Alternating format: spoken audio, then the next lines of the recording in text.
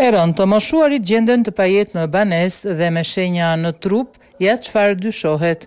Një ngjarje e rëndë u shënua sot në fshatin Bodrisht, bashkia Dropull. Çifti i të moshuarve, Kosta Ilia, tetëdhjetë e katër vjeç dhe Kleoniqi Ilia, tetëdhjetë e tetë vjeç, janë gjetur të pajetë dhe me shenja dhune në trup.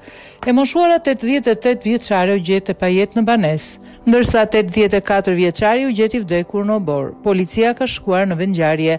Fillimisht u mendua se ishte grabitje, por nuk është gjetur asnjë element që mund të bëjë me një grabitje dhe është përjashtuar edhe pista e grabitjes me dhunë.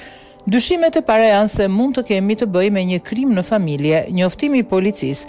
Rreth orës tetë janë gjetur nga fqinjët pa jetë në banesën e tyre në fshatin Bodri, shtetasit KI tetëdhjetë e katër vjeç dhe KI tetëdhjetë e tetë vjeç bashkëshortë, nga këqyrja paraprake të trupave të dy shtetasve janë konstatuar shenja dhune, dyshohet të shkaktuara me mjete të forta rrethanore, gjithashtu nga këqyrja paraprake e vendit të ngjarjes nuk janë konstatuar thyerje të dyerve apo dritareve si dhe në brendësi të banesës nuk janë konstatuar çrregullime të orendive Menjëherë pas njoftimit, shërbimet e policisë kanë shkuar në vendin e ngjarjes dhe së bashku me grupin e posaçëm hetimor të ngritur për këtë rast, në drejtimin e prokurorisë po vijojnë hetimet intensive për zbardhjen e rrethanave të ngjarjes.